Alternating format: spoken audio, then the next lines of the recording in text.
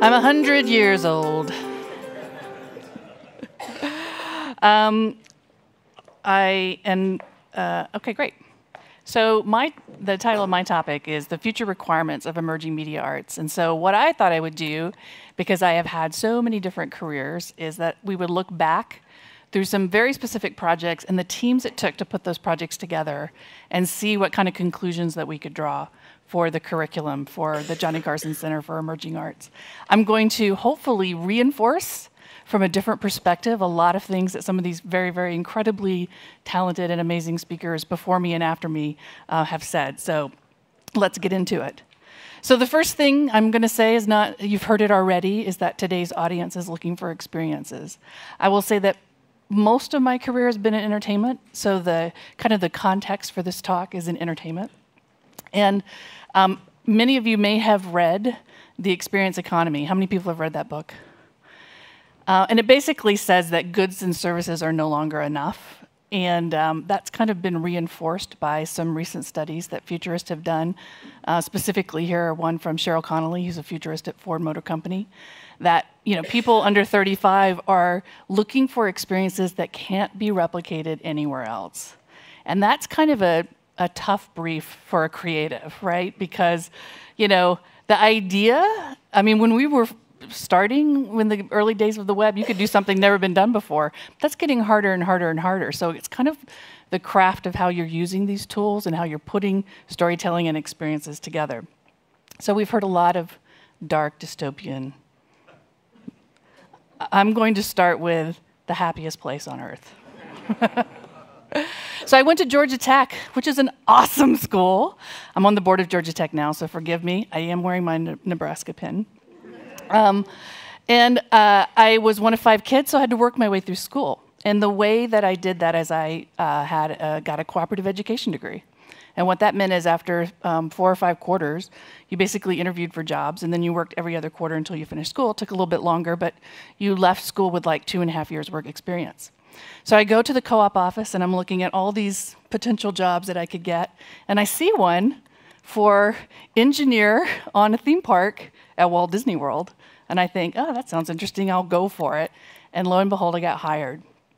When Walt Disney World was just the Magic Kingdom, or the Tragic Kingdom as we call it. And um, that was all that was there. My office was on Main Street overlooking the parade route. And, um, and I got to work on Epcot from groundbreaking to opening day. What a huge honor.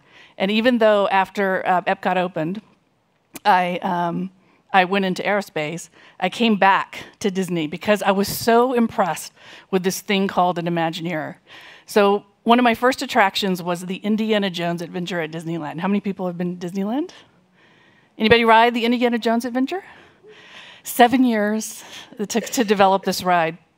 But when you think about um, you know, designing from a blank piece of paper an experience, in this case, an experience based on a pretty famous IP, um, there's certain things that you get to ask yourself, but at, from an audience perspective, from an experience perspective, we're saying, if you saw the Indiana Jones movie, what would you expect to do? You know, yes, snakes, yes, bugs, you know, yes, danger, yes, you go first, you know, all that kind of stuff. And so it was really kind of exciting to work in an IP where people are, came to it with expectations, but it was also super challenging too. So, um, kind of the learning was how do you meet the audience expectations when you're translating something from a blockbuster movie property into a theme park attraction? And then, from an immersion standpoint, how do you make all the details add up? So, I'm going to try to go back. So, you know, uh, George Lucas and Sean mentioned it, he, he wrote a Yoda book. They're known for being fanatical about canon. So even though you would never know what time period this attraction was set in, we had to figure it all out. It had to be between the second and third movie, and had like all these details had to be super perfect. And of course, Disney being the artisans that they were, were, you know, I would have, you know, craftsmen that would say, oh, we're making the ladders out of white oak because that's what they had in 1938.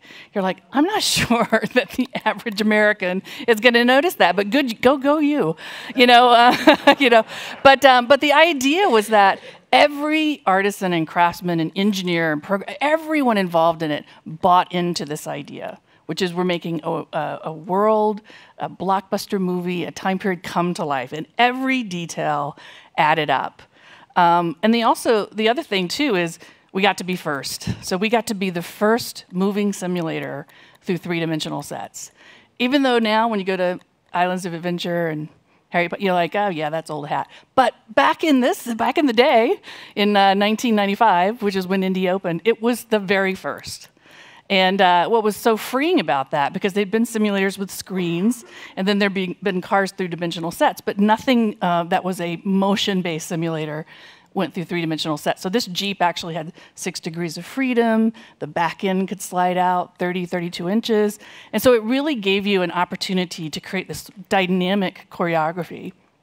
And so this was kind of my first attraction where you were kind of like over everything. And of course, I was just kind of like, from an engineering point of view, trying to, trying to decipher design into something I could understand.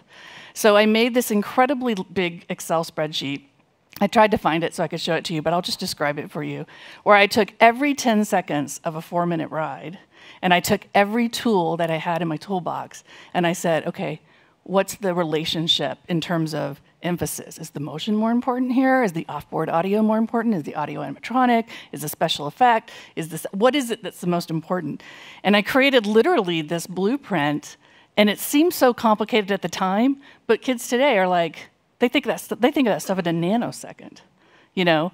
Um, but it just goes to show you that we can learn from looking back, um, you know, and and some of the so uh, what does it take to build a real world Disney e ticket attraction? If you just look at, and this isn't everyone, the team was about 400 people. It took seven years. Um, and look at the disciplines that were involved. And everyone, you know, amazing A team bought into the bigger idea.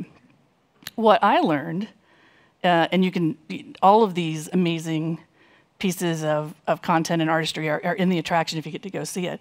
But what I learned was something, oops, that I'm going to get to later, which is the, the concept of experience design.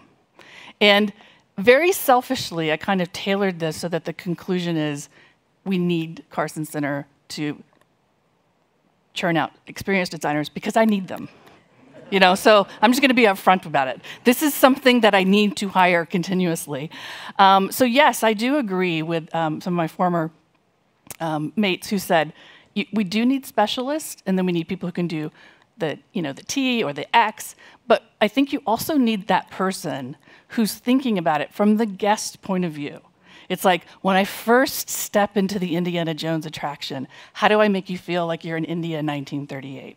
It's like, and as I'm walking through everything from the props to the planting, you know, plant material chosen to the temple that you're looking at to the every little thing. Um, that temple was aged with like 14 passes of moss and you know uh, every little thing is adding up to tell me something and um, and so tremendous artistry lots of discipline lots of specialists but you also need the the one who says the one or ones. It doesn't have to be one person who says here is the vision. Here's what yes okay so i'll tell you. I know i'm being filmed so i'll just tell the story anyway. Here's one big thing. We were so enamored with our programming ability for this new ride system that we thought, hey, you know what we can do? Like 10 or 12 places along the track, we can program three different things. So literally, there'll be like over 100,000 combinations of this ride. And won't that be cool? It'll be like a great press story, and people will go on it, and they'll, they'll go on it because it's different every time. But what we didn't realize is that, all right, I'm interviewing, I'm coming off the ride. What, what happened? there was a giant ball and a snake, and there were bugs that fell in. Nobody could decipher from that level of experience the kind of minute, like, little differences that we were doing in the program. So I don't want to say it was a waste of time, but it essentially was a waste of time. Nobody, nobody would ever, ever, ever know that we had done that. And again, that's learning, right, from the guest point of view. Would the guest ever discern that level of, of programming in a four-minute thrill ride? Answer no. You know, they're experiencing G forces. They're wondering where their purse is. You know, they're thinking about their kids staying in the seats. They're not. They're not. No. Uh, so anyway, free one. Um, So what, what was really interesting about being at Disney is we were always trying to meet guest expectations and design for the guest.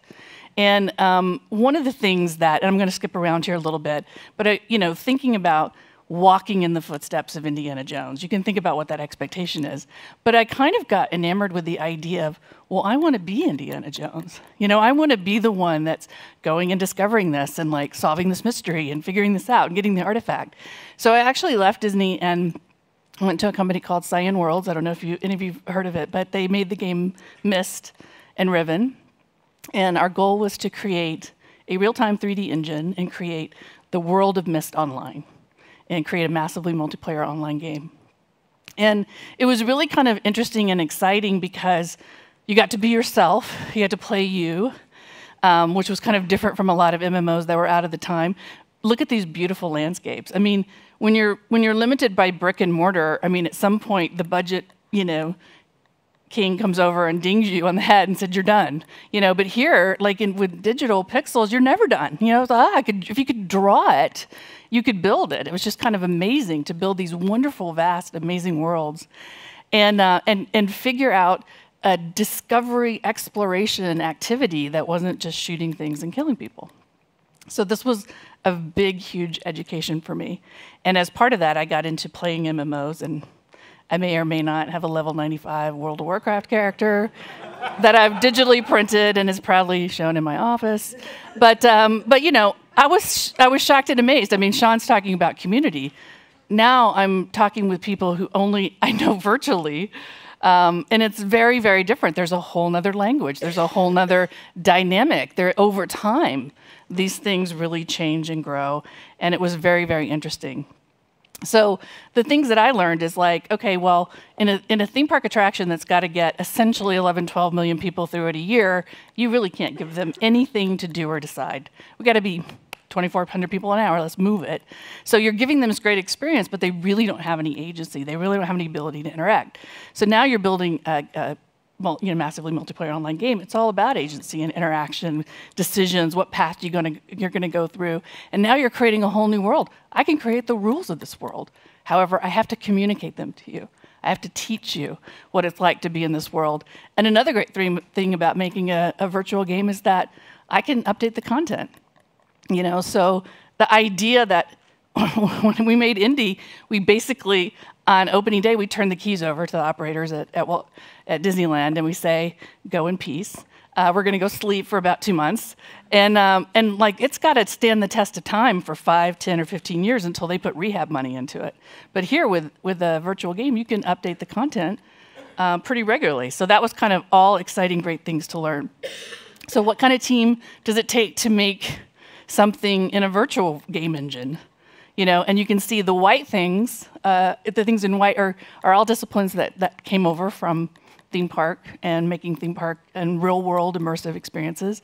And everything in blue is new and different right? So now I have to have a physics engine integrated. And you know, now I have to have customer and technical support because, you know, I I didn't do the thing right and I don't know how to do it and I've got to I'm paying money for this and you know, there's there's level design and interaction design and user interface design. There's all these things, character design and interactive writing. Game writing is different from writing something that's essentially a linear experience. So all these new disciplines kind of come into it. So just to take one qu quick step back, uh, my last attraction at Disney was Mission Space. And I want to bring this up because it, it brings up an interesting dilemma that Imagineers uh, faced, which I think they're solving, by the way. I'm not trying to put a commercial in here, but Star Wars um, and the World of Pandora, you should go see those if you get a chance. Um, which is, you know, how could we, in a, in a theme park attraction that's got to get 2,400 people through it an hour, how could you give somebody agency? How could you have something not turn out the same every time? And so for space, we wanted to give people the sensation of what it's really like to be an astronaut. So how many of you have been on a 20-foot arm centrifuge? I have. so I went to Dayton, Ohio, uh, took a VCR and a monitor, and had the flight surgeon there and said, "Hey, let's just see what will happen." And uh, it turned out it was pretty fun, you know, to give the sensation of vertical travel. Nobody had done that. Again, that's another first. A company like Disney is going to invest in something like this. Um, but we don't have capacity with one 20 foot arm, so of course we got to put 10 on a turntable, capsules that hold four people, and let's give all four people a different role. You know, I got to go to every NASA center, learn how the shuttle crews work.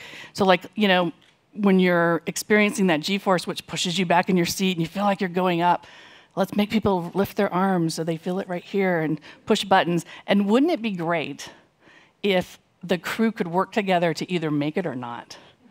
I know that's a little fatalistic, but that was our goal. That was our dream. Um, and uh, this, uh, this ride actually takes you to Mars, uh, which is totally unrealistic in a four minute ride, but uh, it was not our first choice. But there was a movie coming out called Mission to Mars, so we integrated with that. Um, so, anyway, uh, would kind of get frustrated by the idea that in our digital display and the way we were pushing people through that we really couldn't give people agency. And I talked a lot about, well, why don't we use a game engine for the digital display? And let's give people the option to either make it or not. And we're not saying they died, but like maybe they just crashed to the side or to the left or whatever. Didn't happen. So what I want to show you is a, actually, how many people have heard of this project, Field Trip to Mars? So again, putting all my worlds together, I worked for Lockheed Martin for about a decade. Uh, this was just done last year. If you hadn't seen it, I was going to show you the, uh, the video, but it's, um, it's on the internet. But you should definitely look up the Lockheed field trip, field trip to Mars. So what they did is they took a school bus and they took all of the windows and made transparent digital displays. So kids get on the bus, they're looking out the window, they see their neighborhood passing by, and all of a sudden the windows go black.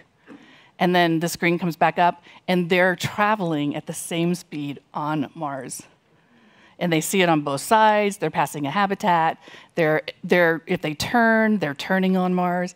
It was just this amazing coming together of science, group VR, and, uh, and you know, an experience that you can't, that had never happened before. Um, this is what's possible now. You don't have to go to a theme park to have an immersive experience, um, which I think is truly exciting. I know we can't talk a lot about what's happening in AR, VR, mixed reality. There was another one that you had in there that I don't remember, Robert, but um, but I wanted to kind of uh, oh,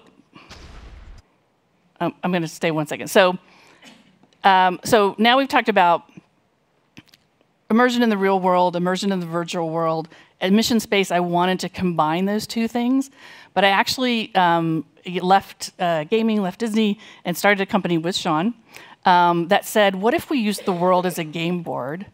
And what if, what if we could create shared collaborative experiences that happen to you where you can pop in and out of the fiction kind of on your own schedule? And that was the beginning of alternate reality games. And so since Sean has done a great job explaining it, I'm just going to show you one show you a video of one, which happens to be in the Guinness Book of World Records as the most participatory uh, alternate reality game ever made. And it was a bridge movie between Batman Begins and The Dark Knight. Now, it has the advantage of there's six generations of Batman fans. I'm assuming everyone here, especially all the guys, had to choose between Batman and Superman and some ritual that we don't know about. uh, you know, fine. Um, my, my, team were all Batman people. So, uh, so the idea was that, you know, um, the, from the last frame of Batman Begins, the Joker kind of comes on the scene, the head of the mob's been kind of decap. How could we let people literally be citizens of Gotham City and just play out almost day for day what happens in Gotham City? So I'm going to show you a short video of this, and then I'll wrap it up. In the months leading up to the release of The Dark Knight, more than 10 million people were immersed in a real world Gotham City. Dozens of websites were found that built a living, breathing city players played integrated casual games to unlock pieces of the story. Physical newspapers and special collectibles were distributed. Text messages, voice calls, and puzzles went out to mobile phones, connecting players to the major characters. Users from all over the world traded and submitted videos and pictures.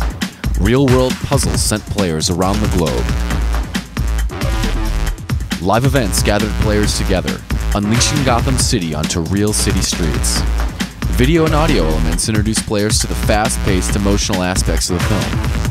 A 360 degree, fully formed immersive reality. An integrated campaign where every element worked together to create a seamless experience.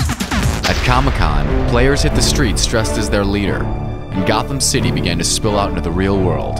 A world they could choose to join in any way they wanted, like a campaign to take back Gotham City. Hello, I'm Harvey Dent. Harvey Dent contacted players by phone and email and asked them to show their support. Dentmobiles brought Harvey Dent's message of change to 33 cities throughout the country. Citizens took to the streets, marched, protested, rallied, screamed, and chanted. It was big, but not as big as what happened the week of the Dark Knight premiere. Hundreds of Gotham City residents, calling themselves citizens for Batman, gathered in downtown New York City. And then at 10 p.m. sharp, they saw it the bat signal. They didn't know what was coming. All they knew was that online clues sent them to the site. So that's just a really short recap. You can see more on our on our site. But the idea is now you could really let the audience in. You know, now from a guest design experience, from an experienced designer ex experience, you could give them a role, and it wasn't just a passive role, like walk in the footsteps of Indiana, Indiana Jones. Now you could be a citizen of Gotham City. You could be an agent for the Joker. You could help uh, Jim Gordon, you know, um, investigate. You could help Harvey Dent investigate corrupt cops. You could do all of that stuff.